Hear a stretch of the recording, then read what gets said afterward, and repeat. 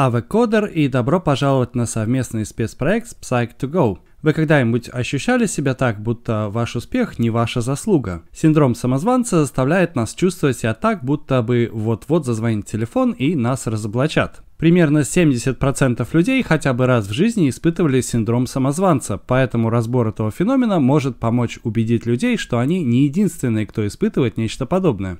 Прежде чем я начну, я хотел бы упомянуть, что это видео создано только в образовательных целях и не заменяет общение с профессионалом. Если вы подозреваете, что, может, страдаете синдромом самозванца, я рекомендую вам обратиться за советом к консультанту или лицензированному специалисту в области психического здоровья. Итак, вот 6 признаков того, что у вас может быть синдром самозванца. Первое. Вы не думаете, что заслуживаете своего успеха. Вы чувствуете, что ваш успех – это результат удачи или чего-то другого, кроме вашего собственного усердного труда. Вы также отказываетесь верить тем, кто пытается подтвердить, что это ваш успех. Признаком синдрома самозванца является приписывание вашего успеха внешним силам вместо признания своих собственных способностей. В 1978 году Кленси и Имес опросили женщин, добившихся успеха в своей области, и выяснили, что многие из них считают свой успех скорее скорее везением или ошибкой, а вовсе не следствием упорного труда. Второе. Вы перфекционист или прокрастинатор. Если вы ждете до последнего, прежде чем начать свой проект, а когда начали, вкладываете в него больше времени и усилий, чем тот требует, скорее всего, у вас синдром самозванца. Вы часто используете прокрастинацию и перфекционизм в качестве механизмов преодоления своего чувства неполноценности. Постоянно переутомляя себя, вы пытаетесь доказать себе, что ваш успех – это следствие упорного труда или даже удачи удачи, но никак не ваших талантов. Третье. Вы боитесь, что вас разоблачат как фальшивку. Бывает ли вам страшно или просто тревожно от того, что коллеги узнают, что вы не настоящий специалист? Даже известная американская поэтесса и писатель Майя Анджело боялась, что ее сочтут фальшивкой всякий раз, когда она публиковала новую книгу.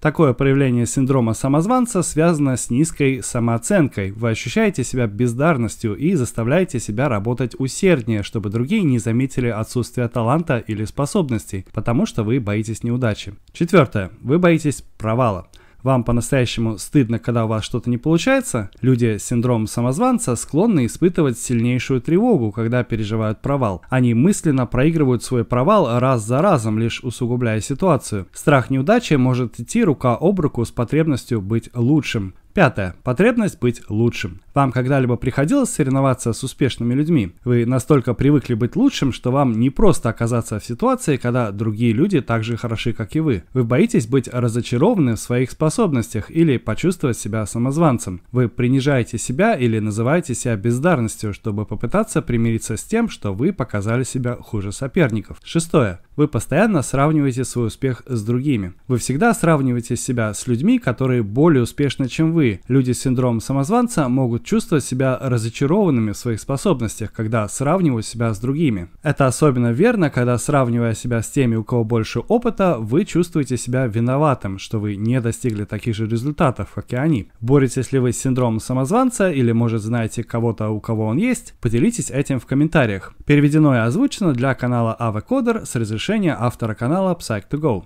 С вами был Ви, до связи.